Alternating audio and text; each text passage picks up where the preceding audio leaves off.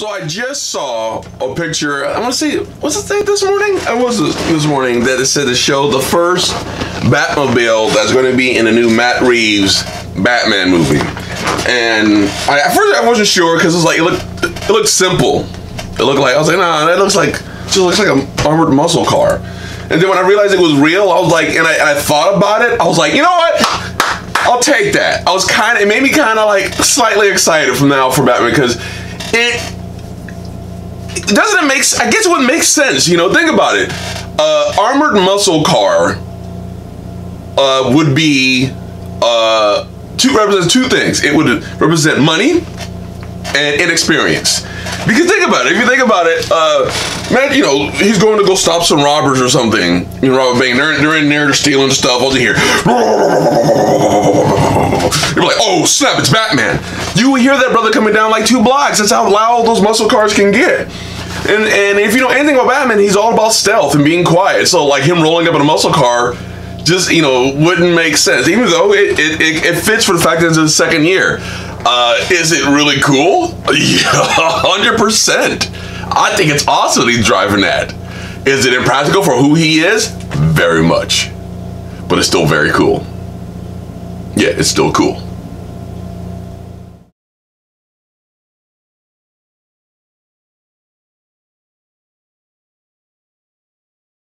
everybody. This is the House of Dark, and welcome to a new episode of Real Talk. I, I, we're gonna go. We're gonna go different in this one. I mean, not too different because it's, it's still in my house of nerd that we do, but it's more game related. I mean, we talked about Sonic the Hedgehog, which was a game, but it was a video game to movie adaptation. But this is more circled around a game game and a game that's coming out in like a little, little over a month. April 10th is the release date, and it's Final Fantasy VII, the remake. Now, we're not going to talk about the remake. That's we're going to do that. That's a separate episode, especially for you know the, what came out. I'm going to focus on, for those who can't see it, the original. Yes, this is an original guide from 1997 of Final Fantasy VII, the original. This is what the remake's based off of, or it's a reimagining or uh, something like that. So, um, now, so for those, before I, you know, you know, for those who don't know, I played Final Fantasy VII when it first came out in, in America. You know, I beat it and everything and it was it was a good experience because it was you know it was my first JRPG. Actually, it was my first RPG ever, ever in my entire life. You know, that was like one of the first the second, I want to say it's either the first or second game I bought when I first bought my PlayStation 1 at like 16 years old. Uh, was 16? Yeah. And uh, yeah, it was one of my first games I bought.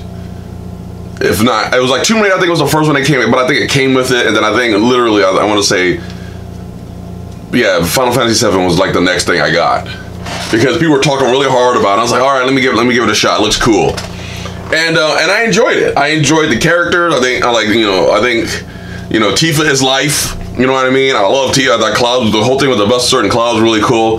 And when I played, I remember playing it and played through it, and I my experience of fighting all the different types of monsters, and and I was I was genuinely, I'm gonna say this right now, I was genuinely afraid to fight any of the weapons. like, you know what I mean? When like this is something I've never experienced in my life. I've played I've played games before, but it was like Final Fantasy VII was like my first ever real like RPG with. I felt like there was something big at stake here. You know what I mean? And uh, to you know, I played. You know, I like I fought the you know which weapon was it? Was it Diamond? It's the one that shows up, you know, with the Junon cannon and stuff like that, and, and we think Rufus died. But and, and so, uh, for those who didn't see, uh, that are listening to my podcast, I put quotations up. But uh, other than that, I didn't like when I found out there was other weapons that existed. I like I avoided them like the plague because I was afraid, genuinely afraid. So I and I beat the game and I felt very proud of it. Like the fight I had was, you know, at the end with Jenova and then Sephiroth. You know, I was playing till like two in the morning because I was like I died like a bunch of times and I was like freaking out every time he did supernova. I was hoping out my regens were popped. I mean, I I hope I did. I, there was a strategy. I hope I did it well. I did it right, and I did in the beating. I was very proud of myself. It was like the first ever like committed. I went. That was my first blind run of Final Fantasy VII, and and uh, and I didn't. And at the time, I didn't have this. I didn't have the guide, so it was definitely an experience. And uh, and I was very proud of myself. uh, until my brother played it. this is why. This is why, because my brother, my brother's a little more methodical than I, I was, especially at that time. He, and this is like when I first realized that games can have more than what they just tell you, you know, what they show you. There's more to it. Uh, and so I think he had the guide first or somehow because for those don't understand this was like big deal for my brother know all this information because nowadays because of the Google and forums and Reddit and YouTube videos and stuff like that you can go online you can just Google you know Final Fantasy 7 100% walkthrough and it will give you every piece of information you need right here, right there. This is how you do it. This is the best way. This is how you beat the monsters. This is how you beat the weapons. This is how you get all the weapons and, and, and everything. You know what I mean? And but that you know at the time in 1990 you know 97 that didn't exist. So to uh, for my brother to have all this, I don't know if it was because it's people he knew. I don't remember if he got if he was the first to get the guide. I mean, this thing is if you can look at this, this is ratty. This is it's old. It's it's it's it's it's seen some things, but it's it's been in my box and sat there for years. Um, but uh, yeah, he I watched him play it, and blew my mind that like I think because at the time when I played, I got up to like forty or fifty. And so when I walk in, my brother's like 60, also 70, then he like maxes out at 99. I didn't know you can crit at 999. I was like losing my mind. My brother did everything. He did everything. I learned. I, I was like, what is that? What summon is that? That's Knights of the Round. What's Knights of the Round? Wait, why do you keep picking item and canceling? What's the W item like like technique? I'm like, what, what do you mean W item technique? I was like blown away by all the stuff my brother did. And I watched him play that game, and I and I and I literally experienced. I, like I didn't know who Vincent was, because he found Vincent. I don't know how he knew Vincent was there. I didn't even know he existed. Um, I didn't know you can get Yuffie at the time because I think she stole my materia or she did something. She stole something from me. It was, it's a one scene when you try to talk to her and she dips. And no, you don't get Yuffie if you go to Wutai. Did I get Yuffie? I don't know. I don't remember. But like there was like extra stuff I didn't know. I, I I didn't know anything about like said final weapons, final. I thought I thought like everyone's final limit break you just earned, and because I didn't get them all, it's because I wasn't at max level. I just found out I didn't realize there's like steps and things you do. There's side quests and extra stuff and people you can talk to and quadra magic and all these other jams. I'm like what?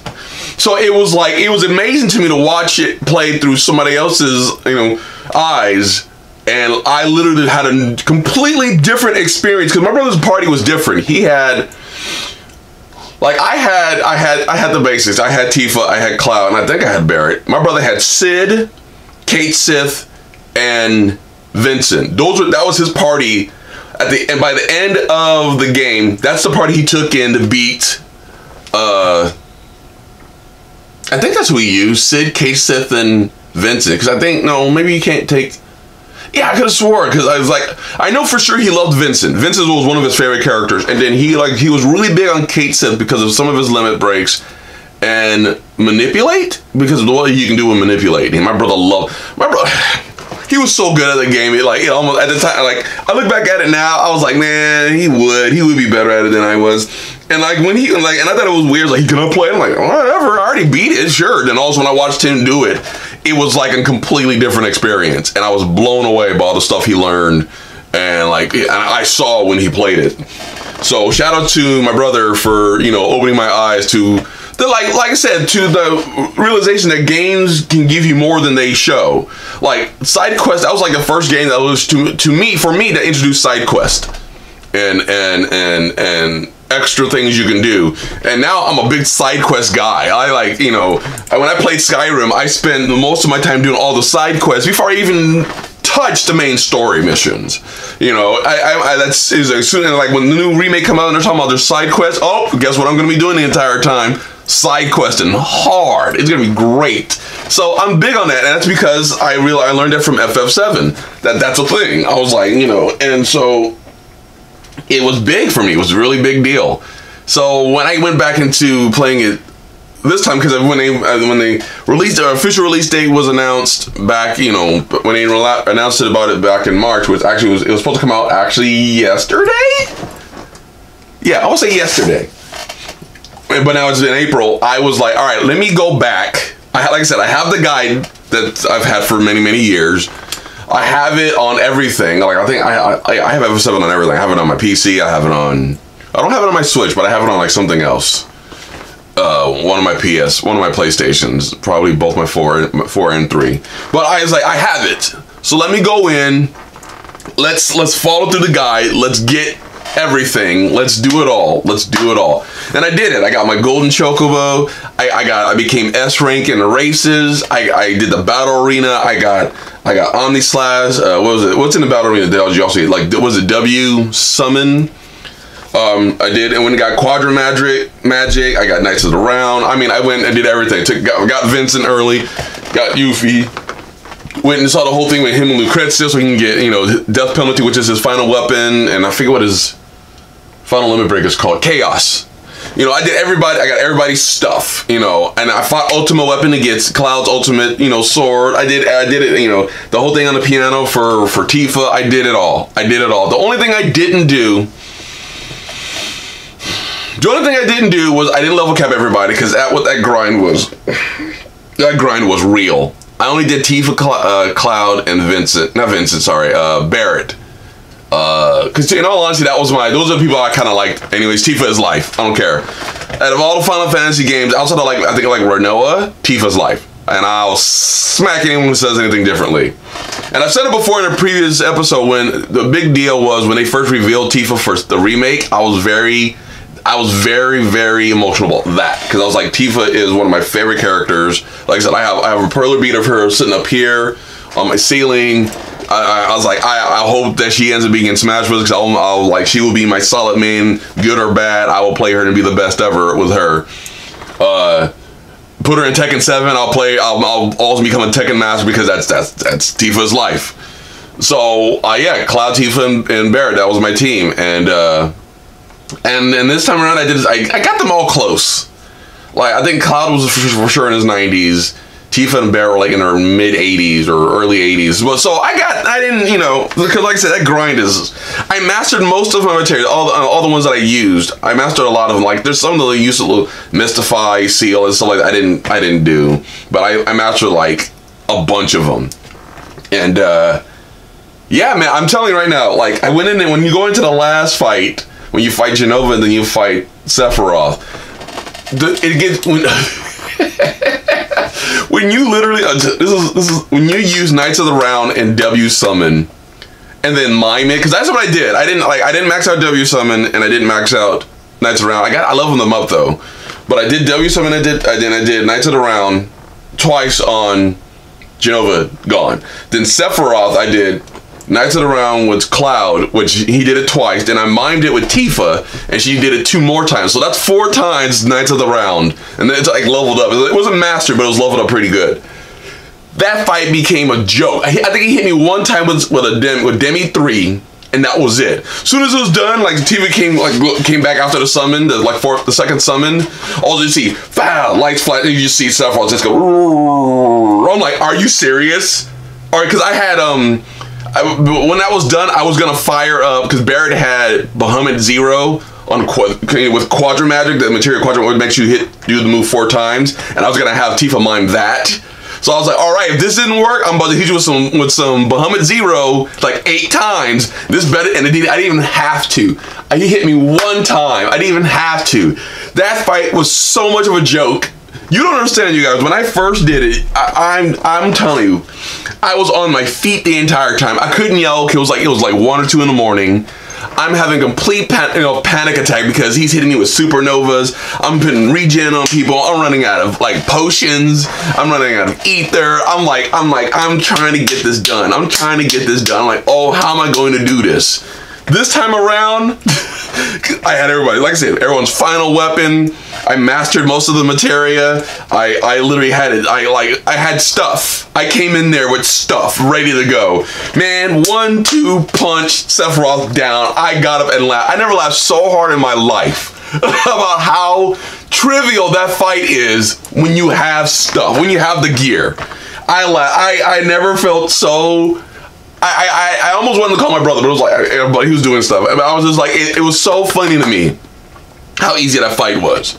So I sat there and watched it, you know, you know, watched the ending and stuff like that, and the credits, and it was just, I felt good. I felt good.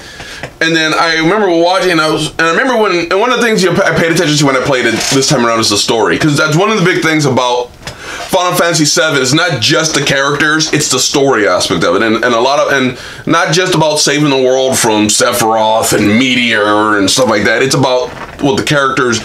Oh, I mean, I think I think outside of what Kate says. A lot of these characters have been through something, and it's one of the things that I think it focused on. And I remember watching a video years ago about Jirard the Completion. He was talking about FF7 because he's like he's he's on that list, my short list of people that I'm fans of who are hardcore fans of of FF7. Between Caleb Hart, Maximilian Dood, and Jirard the Completionist, those are my guys who are like the hardcore Final Fantasy like guys. Those are the guys I watch and listen to whenever anything FF7 related pops up.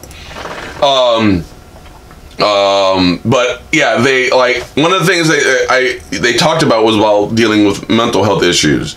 And when you go back, and especially now, like when I first played it, I didn't it, it didn't click.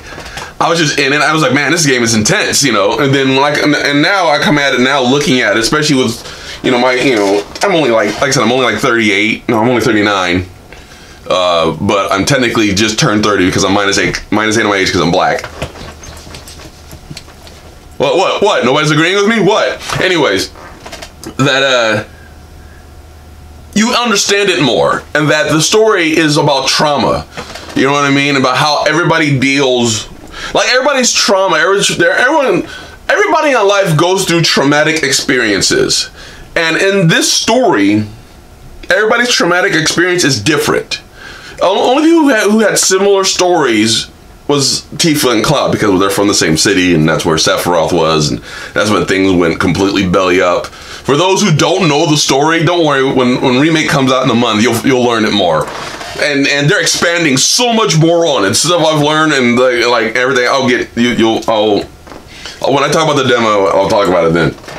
But uh, yeah, the it, the the fact that everybody in this in this in your that you learned about that you meet that's part of your party, your huge party are like all went through something that's horrible to them, and everybody handled it differently. Uh, you mean everything that happened with Barret when he from his hometown, losing losing his best friend, losing his wife, uh, adopting Marlene. It turned him not only into like a more like he's a very like a very abrasive individual, but like super hardcore, like about saving the planet. And, and, because of his experience with dealing with Shinra and when they built the the reactor in his city, what it did and stuff like that, turned him to a very angry man and very determined to save the planet from Shinra, who's trying, who's killing it.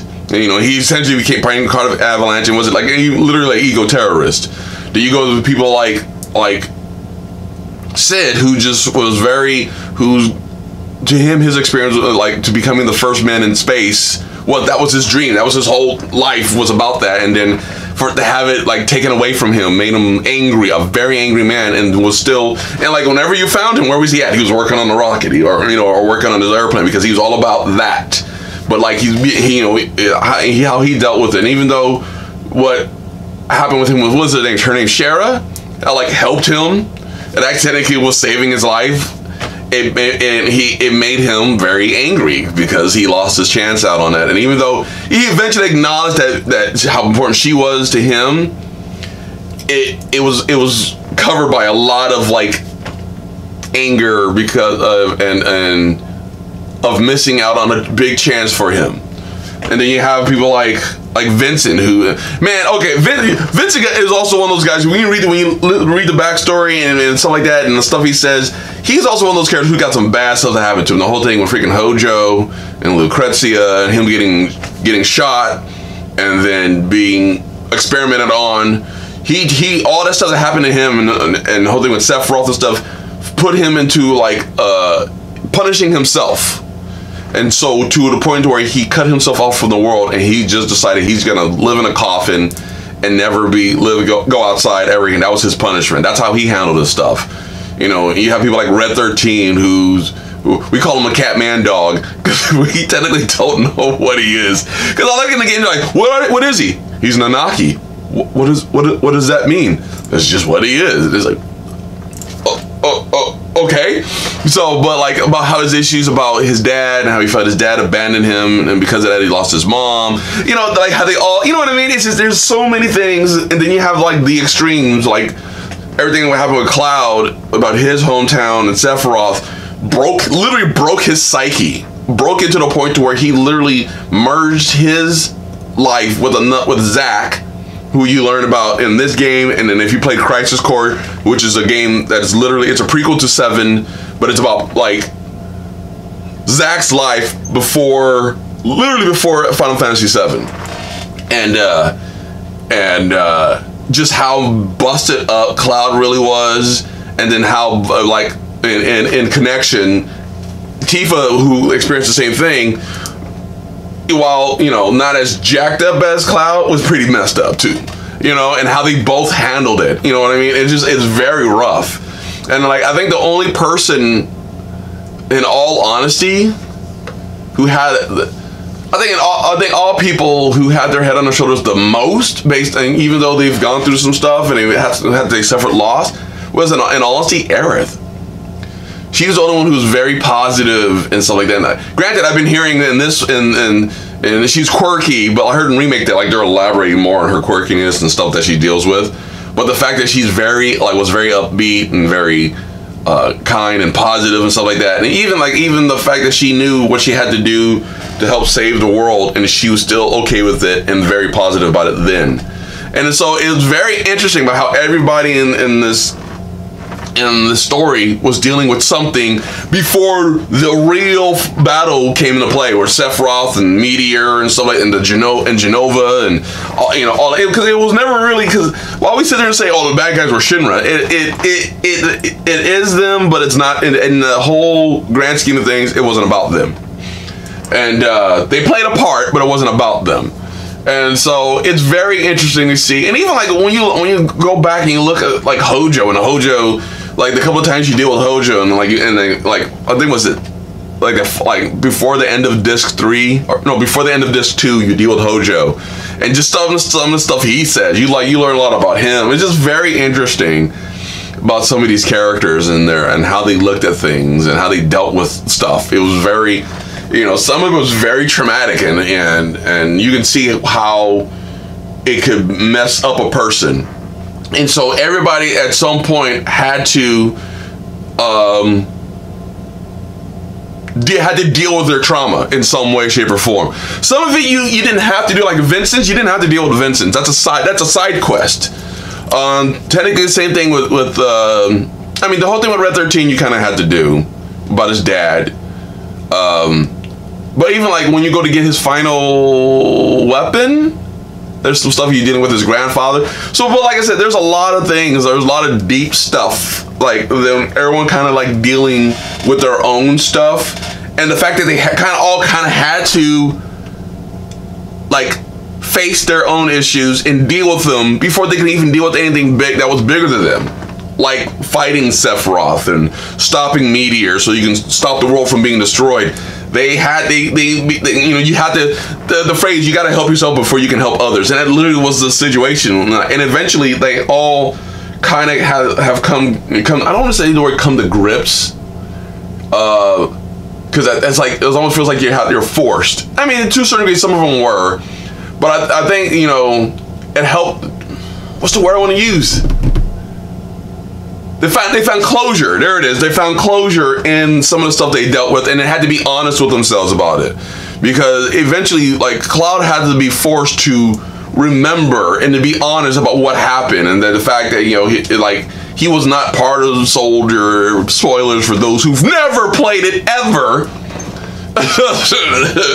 you know, things like that, and, and how traumatized he was by the experience and how he, like I said, like some to a certain degree, like you know, or to the fact that you know, Tifa was very traumatized too. Even like some of her memories about it were like muddled, and they together they kind of you know mess with each other's memories about it. It's it's very interesting how that all pans out. Even like Yuffie, like Yuffie, like almost consider and say Yuffie's kind of a joke character because he he kind of is this little 15 year old kid coming here stealing materia. It's all about materia and getting powerful. But when you go to Wutai and you see her and you and you have, you go through the the, the pagoda or the pagoda, when she's fighting all the masters and her dad's the final master, and you end up find out that her big issue is that why she's so determined to become powerful is because like the war that happened in, in Crisis Core with Wutai and how they lost and how that affected their country as a whole and their people and how that upset her because she knew the history of her people and they were powerful people and to see them be essentially turned into a tourist attraction it, it, hurt her feelings. It, was not something she liked, and it, affected her. And it explains why she was so determined to get become more powerful. You know, things like that. it's very interesting to see all these things like and like I said like to her that was traumatic you know she was alive her dad was still around we didn't they don't say much about her mom but like that that stuff was tra- traumatic for her and that's what affected her as a person and so all, seeing all these things and then being threatened and at that then after that having the threat of possibly losing your chance to make up for that because of meteor and sephiroth it's very it, it's very rough. You're like you you know all this stuff, and you find now you're finally coming to reality about yourself and about your feelings about uh, what's happening to you on a personal level. Now you now you're now you don't have time to fix that because there's a big giant ball of red and scary in the sky, and it's potentially coming down and is going to destroy everybody because um, some crazy man who is thought dead is now threatening the world. And even to a certain degree, uh, Sephiroth was dealt with some trauma. I mean, the whole thing with Hojo and Dr. Gast and his origins and stuff like that, it, it affected him. And you can see how it changed how he handled things. Because if you go, if you go back and play Crisis Core, even a little bit of the flashback, and I'm hoping that in remake they're gonna expound more on the on his on like the relationship you know Cloudman had with Sephiroth and how he was before he snapped. And you get to kind of see, and like Crisis Core kind of touched on it too, like the the change of the he was like he was like the hero. Everyone like wanted to be Sephiroth. He was the man, and now he became the like the enemy, like the number one enemy to the planet. You know, very interesting to see and to see him change from what he was to what he became. I will. I look forward to seeing how much more they expand on that. Um, I, I, I walked away from this very happy once I fin I I finished. I will say I probably I didn't 100. percent I'll say I 90 percent it, maybe 95. After uh, other a couple of things I didn't do, it was like it was only two things. I didn't kill Ruby and I didn't kill Emerald Weapon, and I didn't level cap everybody. So I'm like 95. I got I did everything else. I did everything else but those two, but those things. And I walked away very happy. Uh, like I said, the last fight was trivial with Knights of the Round and, and W Summon, and so I was laughing. I laughed so hard. But um, I, I, I was watching videos and stuff recently about FF7 and like the remake and like the whole thing that Jirard did about the thesis about FF7 and how it affects people to a certain like more than you realize, like the core of it. And like like I said, at, at, a, at a young age, I would never have got it. As as a 39 year old, with dealing some with with dealing with like health issues, uh, dealing with loss myself because I lost family members and dear friends to, to death, and me with me fighting things like cancer and stuff like that. I and still dealing with health stuff and, and you know and other stresses. I can see how how important this story is to people because at 17, I, I mean, I've been through a little bit of stuff, but I wasn't, I didn't, no, nothing near to what I've dealt with in the last, like, we'll say 10 years. You know, you know what I mean?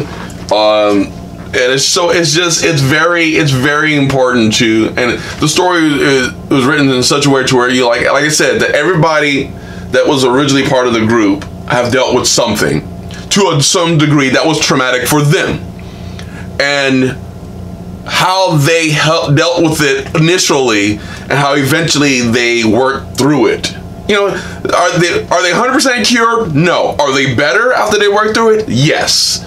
And so I think that's what it comes down to because uh, at the end of the day, you have to be honest with yourself that maybe you you have something going on, maybe your pro- what your problem is, and and just and work on dealing with it. And like in certain situations, uh, ask for help. Like one of the things, like when you have the whole scene, whole part of the game where uh, Cloud falls into the Lifestream with Tifa, and Tifa like was like helping Cloud work his way through his mind to come and come to grips with what actually happened in Nibelheim, Nibelheim, Nimble, Nibelheim with uh, Sephiroth. And she's like, he's like, well, well, I don't understand. She's like, no, you you figure it out, and I'll, but I'm right here. You know what I mean? And so it's it was very good. It's, it's stuff like that. So we have to sometimes we have to. I mean, at the end of the day, we do have to like help ourselves, but always remember that we do have a support system. And so I think that's also was showing. And then the fact that you had these ragtag of people who literally, honestly, under, under normal circumstances would have never met each other. Outside of like Tifa and maybe Cloud, the rest of them probably would have never have met each other. And yet, uh, at the end of it all, they had each other's back and they helped each other through and they helped each other through stuff. And so it's always important to have a, a, a group of people who are willing to not only support you through whatever the hardships you're dealing with, but who are willing to to uh, fight for you and, and and accept you for the flawed, damaged individual that you are. And so I know I'm, I'm, being really deep for a video game. Yeah, I know, but that's literally what it does. That's what this game did to people. This is what it, you know, what it, you know. And now when, the, when I went back and played it again, like for real, for real, and really paid attention, that's what it did to me. That's what I realized when I, by the time I finished it, and like this is what it's about. This is what it's really about. You know what I mean? Because you know you can come in there going like, "Oh man, it's about them fighting the ultimate evil." Then being Shinra, then find out it was Sephiroth and the meteor. Yes, that's true. But the real meat of the story is about these individuals and what they've gone through and how they dealt with it. So, I I I mean I get it. I get it. I understand why people uh, love this game 100% through and through. I get it why. Uh, I watched uh, Caleb Hart 42 like he PB'd his his his, his speed run of FF7 and he watched the ending and you see him get emotional about it. I see I understand why when the remake was announced people were very happy. I understand why Maximilian when he met the like the devs and stuff like that, that and how they were inspired to do and he was part of the reason why they were inspired to keep going, why that hit him to to his core and made him very emotional. I get why when people see the video, the, the, the trailer of Final Fantasy remake, like it's real. It's the Final Fantasy VII remake, and it's real, real. It's like not like it's not just a hype, a hype dream or or or a, a hope or a rumor or urban legend or like a mythological creature. You see it. It's tangible. It's like you can taste it. You see footage. Why these people were in tears? I get it. I get it. I get it. I get it because it represents the video game represents more than just uh, playing video games, and and the storytelling represents a lot more. It, it deals with some real life stuff that people are dealing with to this day, and being treated for and need help for to this day. And I get it more, and I get it more now than I ever did when I when I first played it.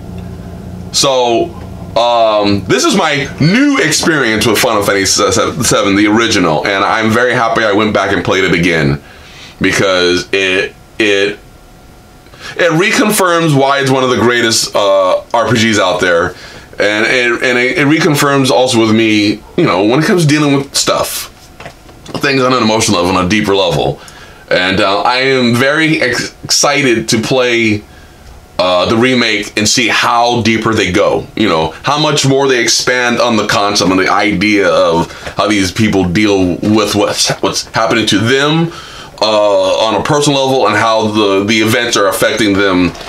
You know, through the story and their interactions with each other and things like that. It's gonna be it's gonna be an experience, and and I'm sure everybody who's a big fan are gonna enjoy it. Uh, for those who don't play those games, that's fine. But who those who do, I, I, I don't spoil it for nobody. I'll punch you in the mouth. but uh, I don't know. I Have never given a rating for a video game yet? Have I done that? I don't know if I've done that, but we're gonna do it now. So with that that in my head right now, Final Fantasy VII, the original one, and and they said it the best the other day too.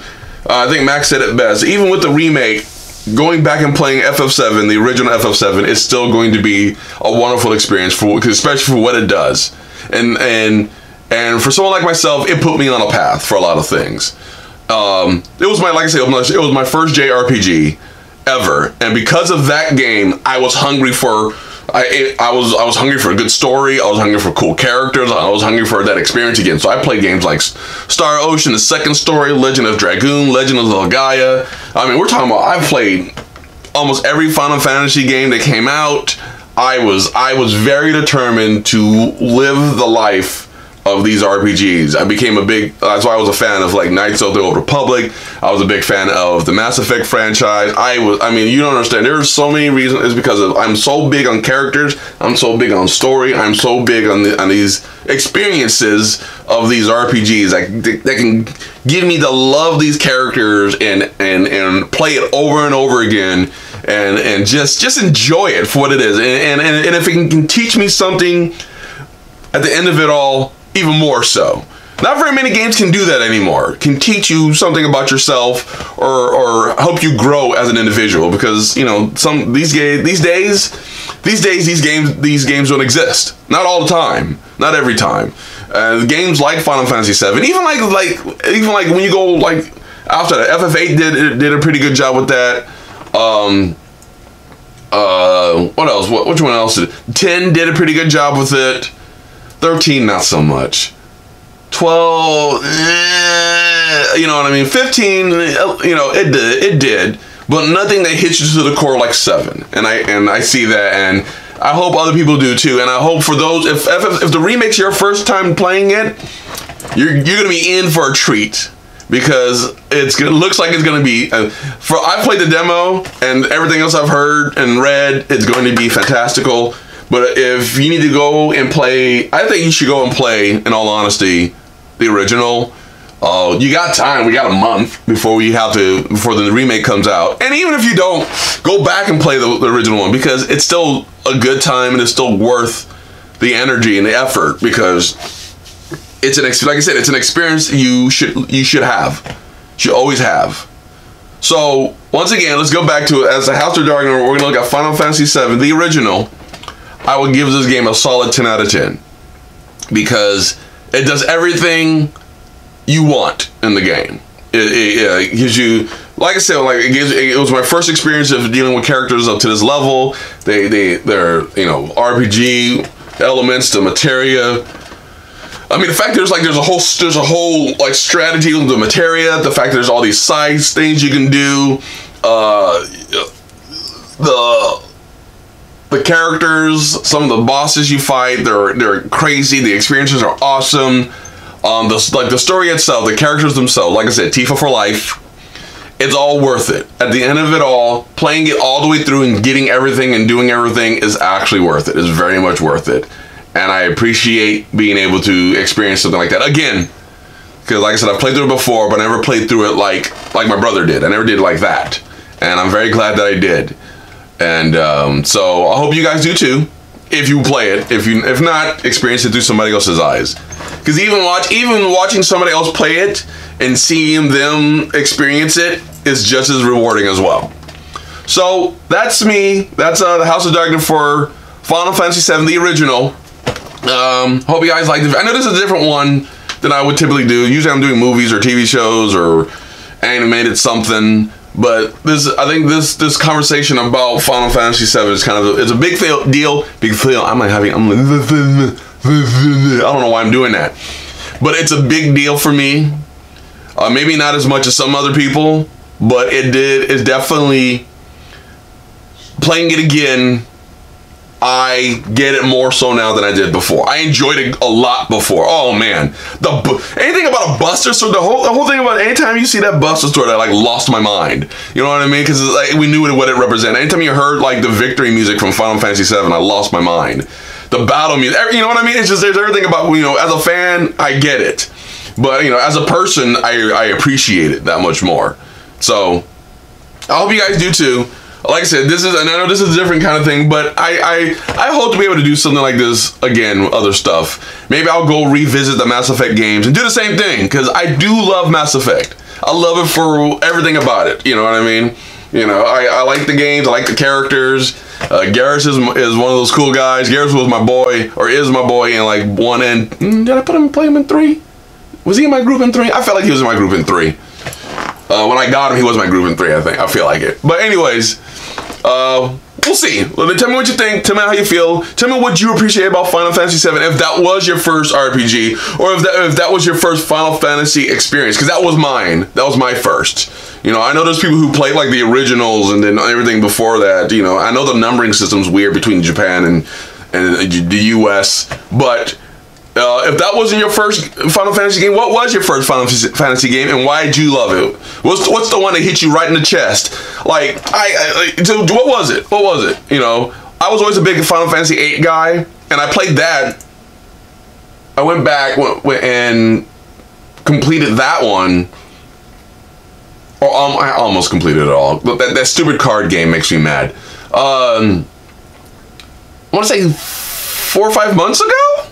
It was it was last year. It was like tail end of last year, and I liked it. Story's a little, it's a little weird, but I liked it. I thought it was great.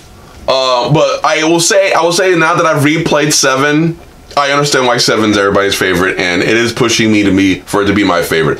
I still like, I like, I like Squall, I like and and and the Gunblade, and I like Rinoa, but Tifa's still life. I don't give a care. Tifa's still life.